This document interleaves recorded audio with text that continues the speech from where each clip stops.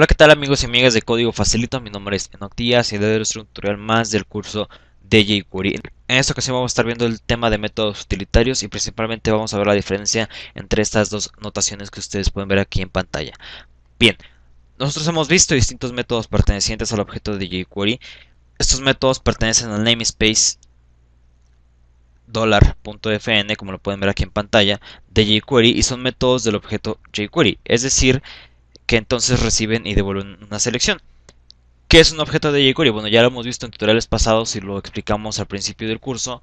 El objeto jQuery es precisamente un objeto que devuelve la función jQuery cuando nosotros le decimos que seleccione algo. Entonces, ese objeto que regresa es nuestro objeto de jQuery. Y a ese objeto de jQuery nosotros podemos aplicar algunos métodos que pertenecen al namespace $.fn de jQuery, como lo pueden ser el método HTML, el método append to, insert before, after, val, text, etc. Todos los métodos que hemos estado viendo y la mayoría de los métodos de jQuery pertenecen al objeto de jQuery.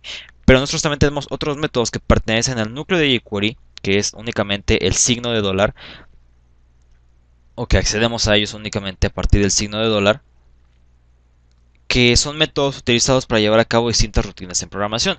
Nosotros tenemos una amplia variedad de estos métodos que nos facilitan la programación y pertenecen al núcleo de jQuery. Únicamente les voy a mostrar tres de ellos, así es de que entonces vamos al código. Bien, únicamente les muestro la interfaz gráfica que yo tengo aquí. Tengo un botón de ejecutar y tengo un div. Esto no es un textbox, es un div, pero aquí voy a meter los resultados de, de aplicar los métodos que vamos a ver. Y aquí en código, bueno, nada más tengo un div, que es a donde voy a meter mis resultados. Aquí tengo el botón para ejecutar el código y pues, el header para poner la imagen de código facilito. En cuanto a JavaScript, ya tengo agregada mi librería de jQuery, obviamente, y tengo listo el evento ready para poder entonces seleccionar ahora sí los elementos. Y tengo también listo el evento de click, escuchando el evento de click sobre mi objeto o mi elemento button para que cuando yo le dé clic entonces ejecute lo que tengo aquí adentro. Bien, primero que nada entonces vamos a probar el método each que se escribe de la forma que ven aquí en pantalla y para poderlo ejecutar o más bien lo que hace este método each es recorrer un arreglo y entonces conforme lo va recorriendo se ejecuta una función. Esta función tiene como parámetros el índice del elemento por el cual estamos pasando y también nos da como parámetro el valor vamos entonces a ejecutar esto.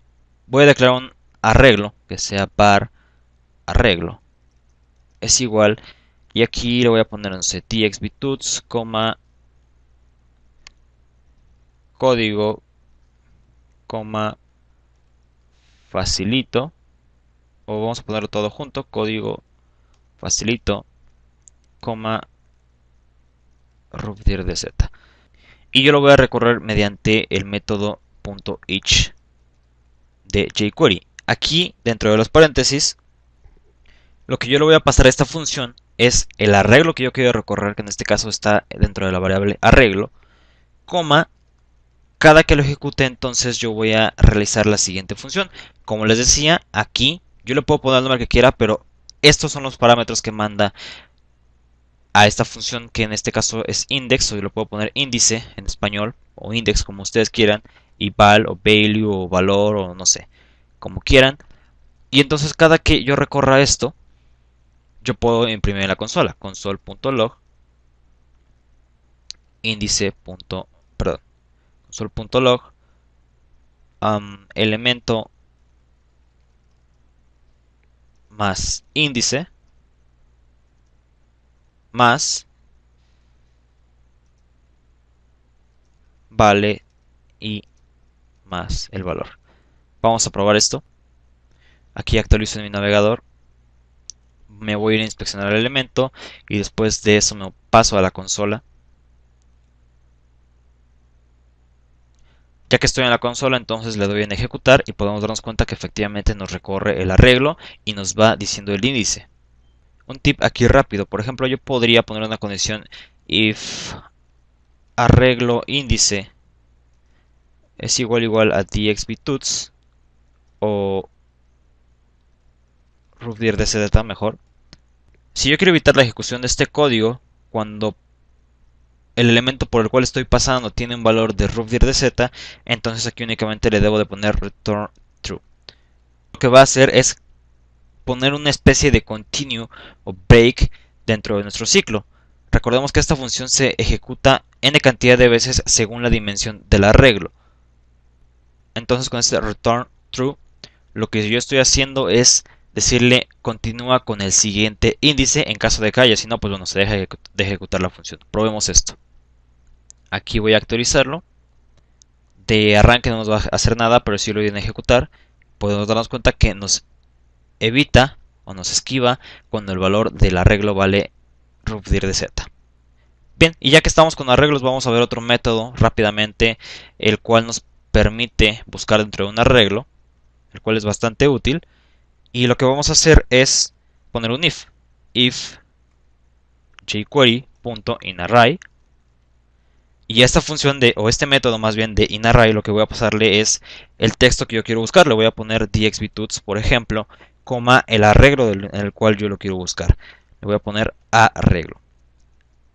Esta función lo que me regresa es el índice en el cual está posicionado el valor que yo voy a buscar. En caso de que no esté este valor en mi arreglo, lo que me va a regresar in array va a ser un menos 1. Entonces, si yo aquí le pongo que es diferente de menos 1 el valor que me está regresando, yo puedo imprimir lo siguiente, console.log, arreglo, y en el índice que me regresaría entonces esta función. Con la total seguridad de que entonces me va a imprimir dxbtuts. Aquí en el navegador rápidamente actualizo la página, le doy en ejecutar y nos damos cuenta que efectivamente nos imprime dxbtuts. Por último vamos a ver un método el cual nos permite borrar los espacios en blanco de una cadena de texto. Vamos a ver cómo funciona esto rápidamente. Voy a crear un bar s es igual a hola mundo y este método utilitario se llama trim. Entonces voy a poner lo siguiente, console.log.trim, que es mi método, y entonces aquí voy a poner console.log y voy a mandar llamar a mi método utilitario, que pertenece al núcleo de jQuery, y aquí a trim le voy a pasar la cadena que yo quiero simplificar o que quiero eliminar sus espacios en blanco, que en este caso viene siendo la cadena S. Probemos. Actualizo la página le doy en ejecutar y nos damos cuenta de que nos elimina los espacios en blanco al principio y al final. Bueno, aquí yo no tenía espacios en blanco al final, pero se los voy a agregar y también, ya que estoy aquí, voy a poner un console.log s para que veamos que efectivamente está funcionando la función o el método más bien del núcleo de jQuery llamado trim. Aquí le doy F5, ejecuto y podemos dar la diferencia entre sin utilizar el método trim y utilizando el método. Bien, hasta aquí hemos llegado con este tutorial, fue bastante sencillo, únicamente vimos cómo funcionan los métodos utilitarios y la diferencia entre estos métodos que pertenecen al núcleo de jQuery y los métodos que pertenecen al objeto de jQuery.